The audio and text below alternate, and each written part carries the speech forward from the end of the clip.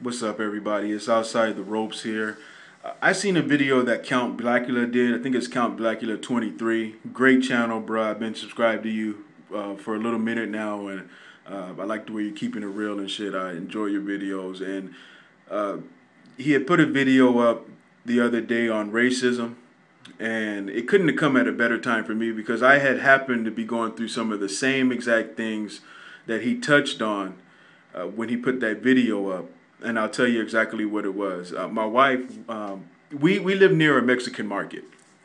It's called Vallarta, and uh, we've been shopping there for years. I like to go there and get the meat because they got the shit all seasoned up already and shit like that. And I, you know, I add my own seasoning sometimes to it uh, to make it taste the way that I want and shit. But if I'm barbecuing or something like that, I like to go get their uh, carne asada, throw that shit on the grill, shit like that. I've been shopping there for years, spent thousands of dollars in this market, and my wife was in there without me the other day, and she comes out of the store and she gets surrounded by three of their security guards. Okay, and my wife is about five two, small woman, you know, small woman, doesn't bother anybody. She went in there, dropped ninety dollars, and she gets surrounded by security guards outside of the store, and they're asking her to see her receipt. Now, my wife said, you know what, why do you need to see my receipt? Are you checking everybody else's receipt? Why are you asking for my receipt? And all of a sudden, he didn't know any English. But anyway, he goes through her uh, her bag. He takes her receipt out, and then he starts going, putting his hands all over our shit. And uh, then he's talking about, oh, the uh, you know, she paid for everything. Talking to the other security guard, and thought that you know everything was butter and biscuits, and she was gonna walk off into the sunset and everything was going to be forgotten and forgiven and shit. But my wife, being who she is, she's from the Caribbean. She's from the island, so you know them already. They're not going to bite their tongue. They're not going to let no bullshit go. So she said, fuck that. She went in the store, asked to speak to the supervisor. The supervisor, he didn't give a fuck. He was looking at her like, oh, well, you're just some nigger. I don't, I don't care. Oh, yeah, blah, blah, blah, while she's talking and shit, right? So the loss prevention manager comes down and he says, "You know what? I reviewed the camera, and there was no reason for them to have pulled you over. I, I don't understand what they were doing, but they had no reason to do what they did." Uh, surprisingly, the three security guards had kicked rocks. Uh, they they got the fuck out of Dodge. I didn't even know where they were. But put yourself in that security position for a second. Now, if you're gonna stop somebody and check their groceries, you're trying to basically accuse them of stealing something. Wouldn't you want to be there when the manager's there and the loss prevention manager's there to explain yourself? No, these motherfuckers got ghost and shit. Uh, for all we know, the manager could have told them to hide themselves like bitches because they knew that they fucked up. But anyway, you know, he, he he says, you know, I don't know what they were doing and shit. So she's upset, you know what I'm saying? Because the manager never apologized to her. The loss prevention manager apologized and I know the loss prevention manager, he's cool. He's the only cool motherfucker in there when I go in there. He's always saying what's up. He's cool. And I got mad respect for him and shit. He's always had respect and he don't treat us any different than anybody else. But I noticed though that this is not the first run in that we've had with these motherfuckers because I notice every time I go in there, they're watching me like a hawk. And let me remind you, I spend thousands of fucking dollars worth of groceries in that fucking store. I mean, I've been going there for a few years now, so uh, it's not like they don't know me. I go in there, they're always watching me like a hawk from the minute I go in there, from the minute I leave. Um, I guess maybe sometimes, you know, I walk around looking for shit uh, because they seem to change their store around every other week. So I can't never remember where everything is.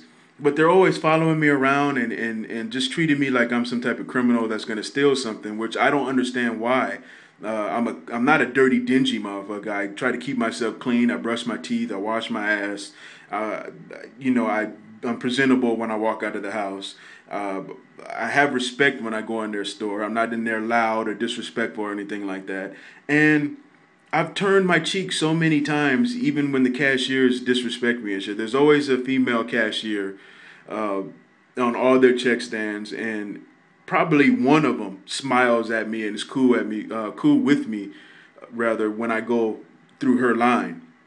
But I notice all the rest of them, you know, they're smiling and they're saying hello to the, the Mexican customers and telling them to have a nice day and shit like that. And as soon as I get up there, their whole face drops and they have an attitude with me. They don't want to put my change in my hand and they're just disrespectful and shit. I've let that shit go so many times and tried to be the bigger man and make them feel stupid for treating me like that, but they never learn. They still do the same shit. So this was the last fucking straw. And I went in there, man, because I wasn't there with my wife when this shit happened. But I went in there and I told them, you know what? I will respect y'all if you if you had a sign hanging up in front of your store that said Mexican only. If you had a sign that said Mexican only, I will respect that sign. I will not make a big deal about it. I will not complain or cry about it. I will respect it and I will will understand that you don't deserve the money that's in my pocket anyway. So I will not fuck with your store. But you want to have black people come in your store and spend their money, but you want to treat them different than everybody else. And I know what some of you guys are saying. Oh, there, oh, there you go, pulling the race card, buddy. You love to pull that race card. But look, look. What other reason do they have to be watching me every time I walk into their store? It can't be my height. There's other motherfuckers around the same height as me in the store.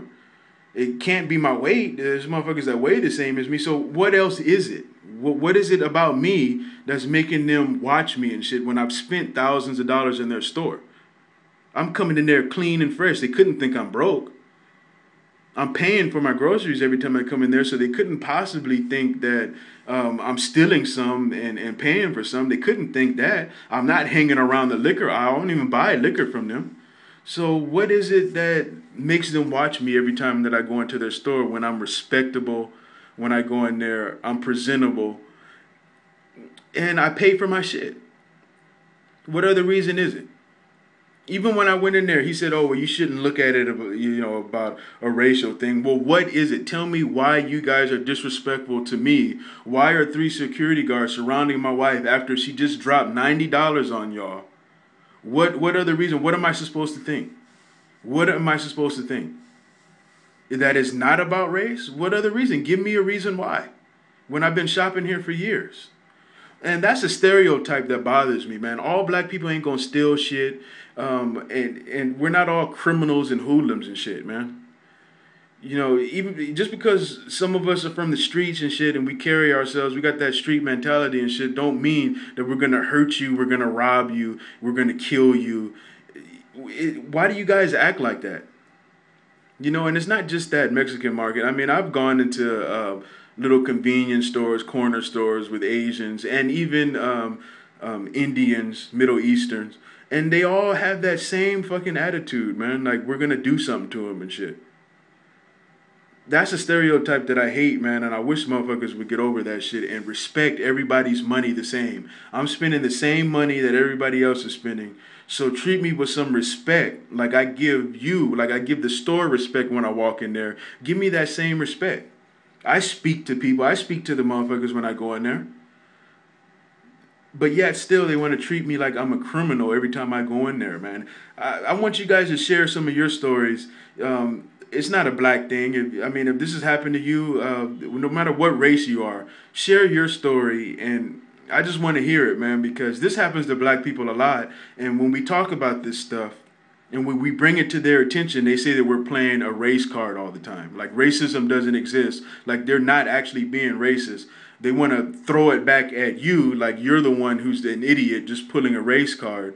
But yet you're not giving me any reason why you're treating me different than anybody else that's that's in the store. So it's not a race card. I'm calling it like it is. If you can't give me any other reason why, I'm calling it like it is. But they love to throw that race card shit at you. Like you're pulling the race card and you're just being an idiot making shit up. And I'm tired of that shit, man. So you guys leave me your thoughts, man. Let me know what you guys think about shit like this. Um, and I'm out, man. Leave your comments. Peace.